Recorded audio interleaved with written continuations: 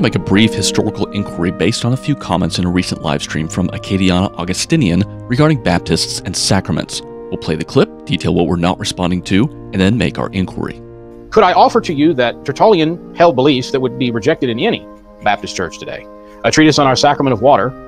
So there's strike number one, because for the Baptist, it wouldn't be a sacrament, it'd be an ordinance, by which the sins of our earlier, earlier blindness are washed away and we are released for eternal life will not be superfluous, taking away the death by washing away of sins.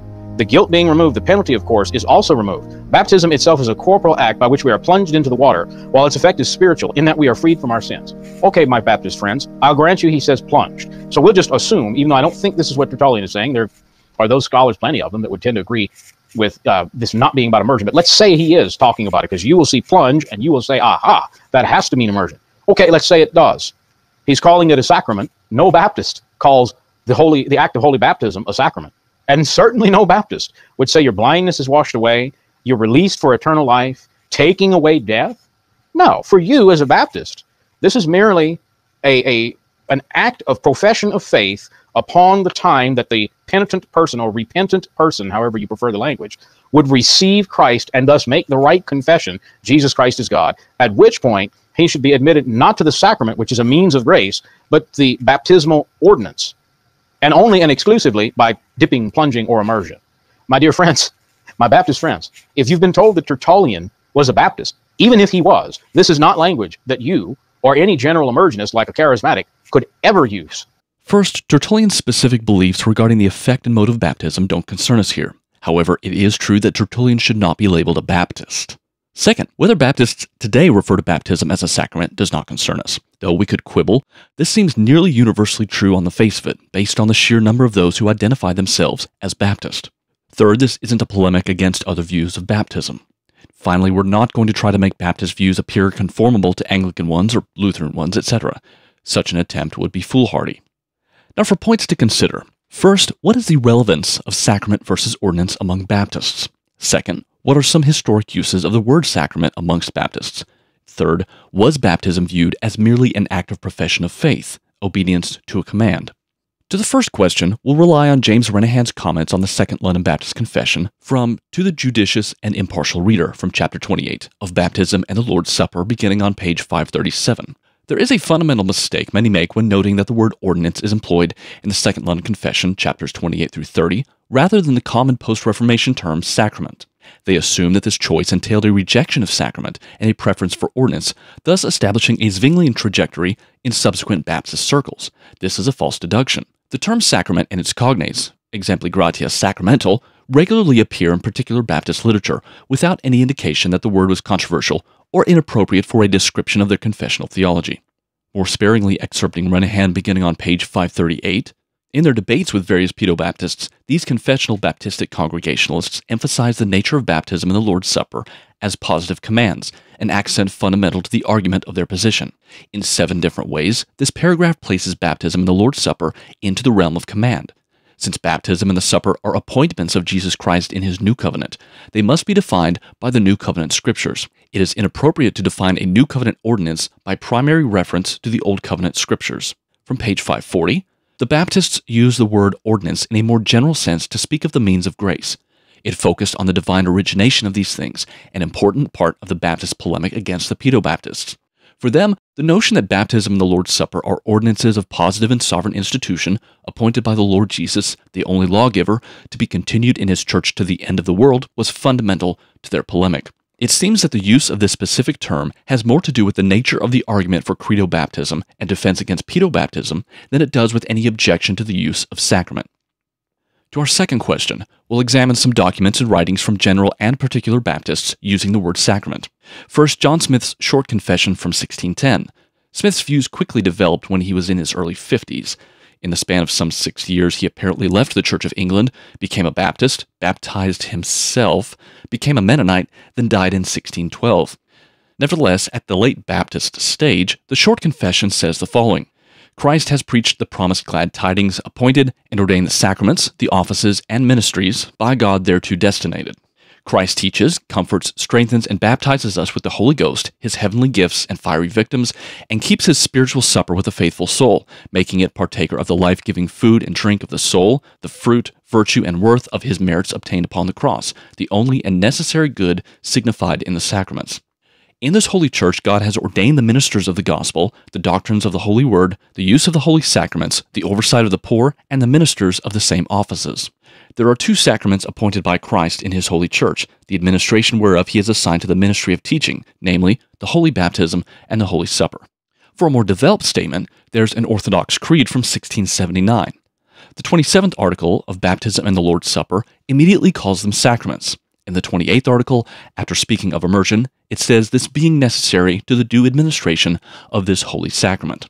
In the 30th article of the Catholic Church as visible, two of the marks which show a congregation to be part of the one Catholic Church are where the Word of God is rightly preached and the sacraments truly administered. In the 33rd article on the Lord's Supper, it does not call it a sacrament, having already done so six articles previously. On the particular Baptist side, both the 1644 and 1689 confessions only use ordinance, as noted before regarding the latter. However, the term is still used. Hercules Collins, an Orthodox Catechism from 1680, has a section of the sacraments, starting page 25 regarding baptism and the Lord's Supper, referring to them as sacraments throughout. He likewise uses it answering, How is the kingdom of heaven opened and shut by ecclesiastical discipline? If neither, then they obey the church's admonition and are by the same church kept from the sacrament. Finally, answering, What are we taught by the fourth commandment? He says the Lord's Day is to be spent in private and public devotion as hearing the word diligently, practicing the gospel sacraments zealously. In his A Discourse of the Covenants, Nehemiah Coxe argues now that such a promise of reward was given to Adam and indeed employed in the commendation of death in case of disobedience may be concluded 3. From the sacramental use of that tree in the midst of the Garden of Eden, which was called the tree of life, because instituted of God for a sign and pledge of that eternal life which Adam should have obtained by his own personal and perfect obedience to the law of God had he continued therein. Later, after having pointed out the ark was shaped like a coffin and had the resemblance of a burial by entering into it, he says, in which respect the Apostle Peter makes baptism to be the antitype to the ark, and thus was the ark an extraordinary sacrament or prefiguration of the church's redemption and salvation by the death and resurrection of Christ. In A Sober Discourse of Right to Church Communion, William Kiffin says on page 23 do the former scriptures institute the supper and command its observation? The latter do as well institute baptism and command its constant observation. The very same sanction, the same Spirit, with equal authority establishes both, giving baptism precedency in order of time as being the sacrament of the spiritual birth, and the other of spiritual nourishment and growth. And surely there is as much need of being newborn as being spiritually fed, that being of absolute necessity with respect to priority in order to this. On the very title page of a 1689 book, Gold Refined, or Baptism in its Primitive Purity, Benjamin Keach notes that believers are the only true subjects of that holy sacrament, and refers to both baptism and the Lord's Supper as sacraments throughout the work. Finally, to our third question. An Orthodox creed says baptism is to be unto the party baptized a sign of our entrance into the covenant of grace and ingrafting into Christ and into the body of Christ, and of remission of sins in the blood of Christ, and of fellowship with Christ in his death and resurrection, and of our living or rising to newness of life. In very similar wording, the 1689 says it is to be unto the party baptized a sign of his fellowship with him in his death and resurrection, of his being engrafted into him, of remission of sins, and of giving up into God through Jesus Christ to live and walk in newness of life. Returning to Renihan, he says, This sign is intended by Christ for the spiritual benefit of the one professing faith in Christ. It signifies four truths. First, it is a sign of his fellowship with him in his death and resurrection. Those baptized receive a sign of fellowship with Christ in their baptism. Baptism denotes being engrafted into him. John Ball wrote, Everyone that believeth is born of God. He that is engrafted into Christ by faith is a new creature, and made partaker of the divine nature. If we be engrafted into the similitude of Christ's resurrection, we must express by our actions the power and likeness of Christ's resurrection, which is done when we walk in all pleasing before God and set our affections upon things above. And this, as it is commanded on God's part, so it is sealed on our part in baptism. For a believer, baptism signifies this. It serves as a tangible reminder of union with the Savior. Baptism's third symbol of remission of sins should bring to mind the cleansing of sin received by faith, and the fourth, of his giving up unto God through Jesus Christ to live and walk in newness of life, makes the act of baptism a demarcation point in the life of the person baptized. It represents new life and serves as a reminder of the necessity to pursue holiness. Giving up is a present tense form and identifies baptism as the moment of commitment to the Lordship of Christ and the intention to walk in newness of life. While differing on other aspects, this comports with the traditional Augustinian definition a sacrament is a visible sign of an invisible grace. We'll continue with more historical materials, but I think it has been sufficiently shown that Baptists were not averse to using the word sacrament, doing so in their confessions, catechisms, and polemical writings, nor did they view baptism as a mere act of obedience or only an outward profession. It would benefit Baptists of all varieties to revisit the earlier materials of their tradition. After some 300 years of attacks from rationalism, enthusiasm, liberalism, etc., let us not eschew more of our past in search of some new, new measure, or compromise to gain some perceived favor with a world desperately seeking to throw off every trace of God's order from its sight and memory. Returning to Kiffin's A Sober Discourse of Right to Church Communion, on page 25 he cites John 6:54, Mark 16:16, and 1 Peter 3:21 and writes, as the supper is a spiritual participation of the body and blood of Christ by faith, and so not merely by the work done, is a means of salvation, so baptism signs and seals our salvation to us, which lies in justification and discharge of sin, etc. To conclude, the ends and uses of baptism being one, to represent to the eye and understanding by a visible sign or figure what hath been preached to the ear and heart. 2. To witness repentance. 3. To evidence regeneration, called in allusion to it the washing of regeneration a being born of the water and spirit, and four, a symbol of our dying unto sin and living again to Christian newness of life. For as regeneration is the first work of God upon the soul in order to the exercise of the graces of Christ given, so hath he appointed baptism as that which is the first ordinance to be practiced, which doth more particularly than any other ordinance in the signification of it hold out and visibly represent our new birth, and therefore is called the baptism of repentance. Suitable hereunto does that learned and eminent divine Mr. Daniel Rogers express himself. Baptism, then, is the first sacrament of the gospel, consisting of water, which is sacramentally Christ, or whereby water duly applied, not only the presented part is made a member of the visible church, but also sealed up to an invisible union with Christ, and thereby interest in all those benefits of his which concern the being of regeneration. By calling it the first sacrament, I point at the presidency and order of baptism, the which all those names or baptism both in Scripture and elsewhere do approve. It's the seed of the church, as the other is of food. It issued first out of the side of our Lord Jesus upon the cross. It's the creating instrument of God to produce and form the Lord Jesus to a new creature and to regeneration in the soul. It's called our union with Christ, our marriage ring, our military testimony, our matriculation, cognizance, and character of Christ, our implanting or engrafting into Him and His body, our ship, our ark, our Red Sea, our putting on of Christ.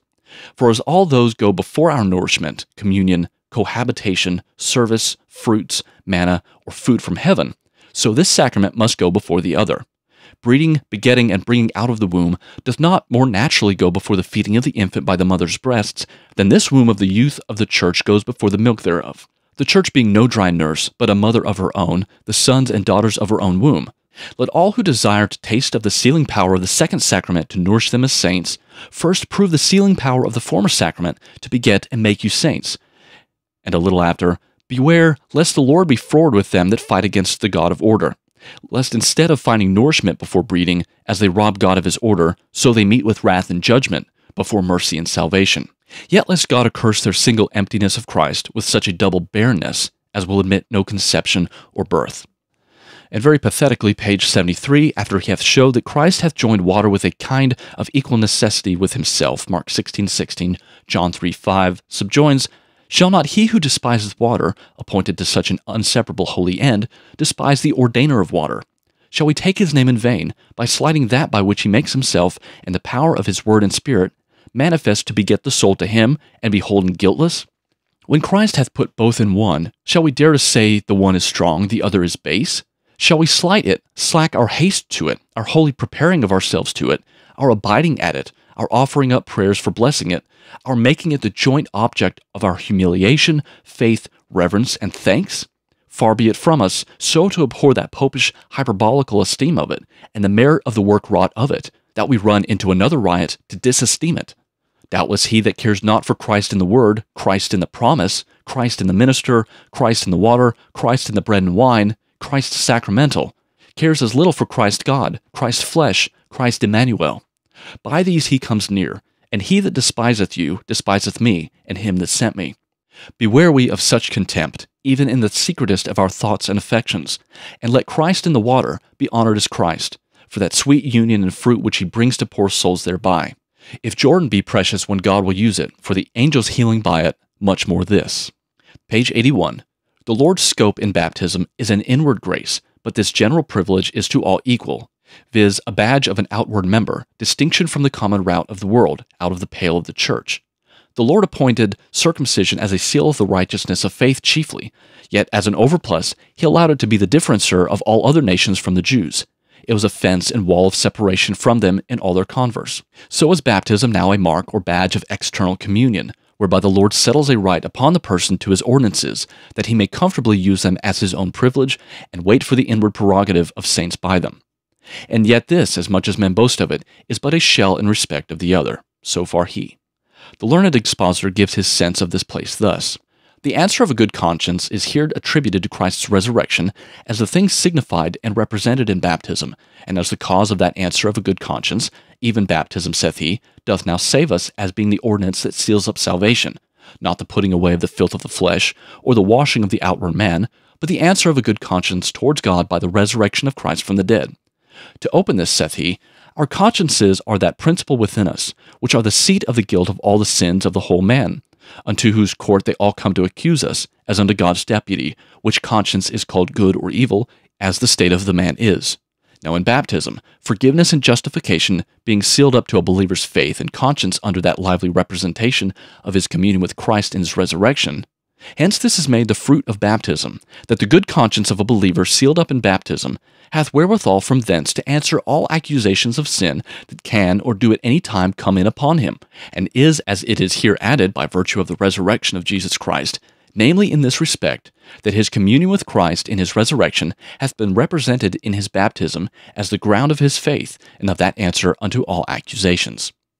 To conclude this head, as baptism is not to be repeated because it is the sacrament of regeneration, initiation, and incorporation, which are not capable of reiteration, so neither can the seal and sign thereof.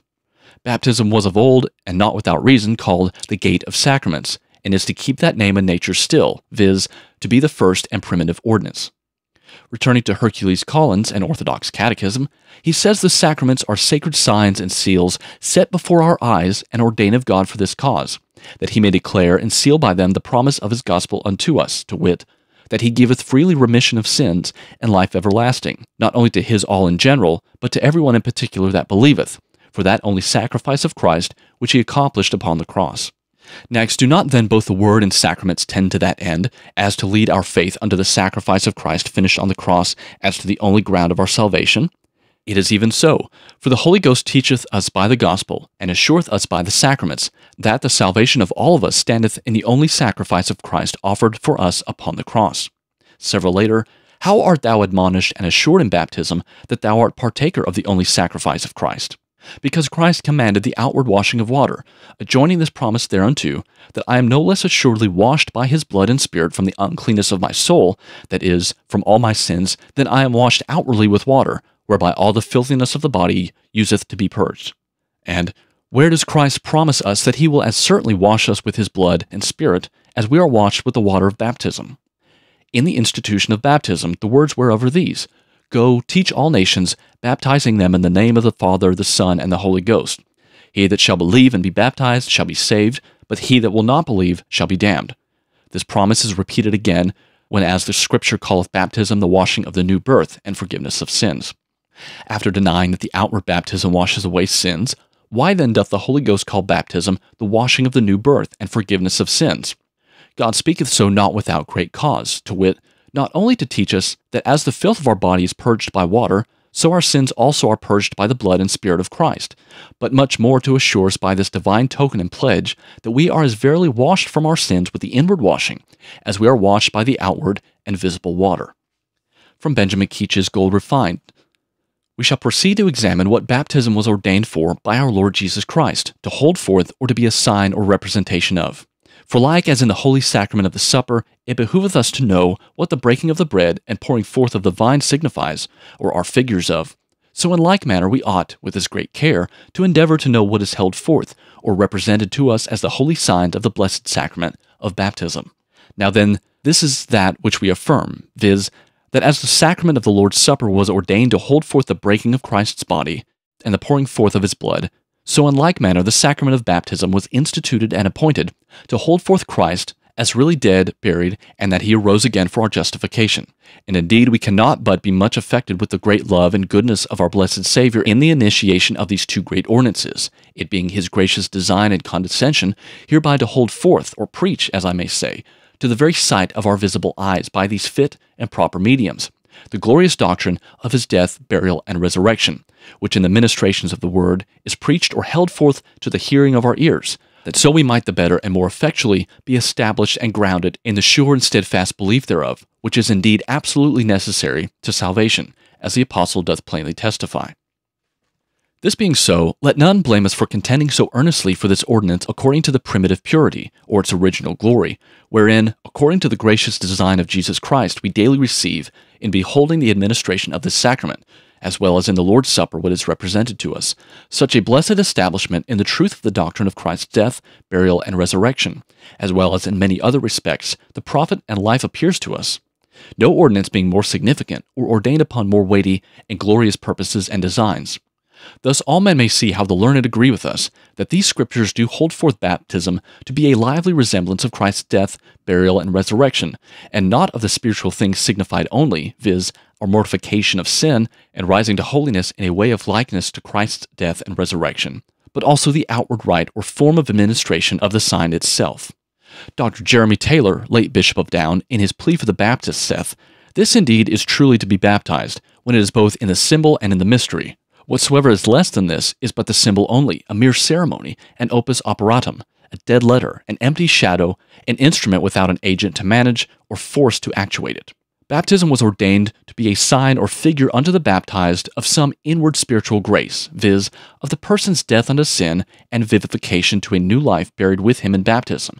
Id est, Christ doth certainly expressly relate immediately, if not wholly, in those texts of Scripture to that outward sign itself, is that in which there is a plain representation of the mystery and inward grace. We are said to be buried and risen both in signification and also in lively representation of the inward and spiritual burial and resurrection with Christ.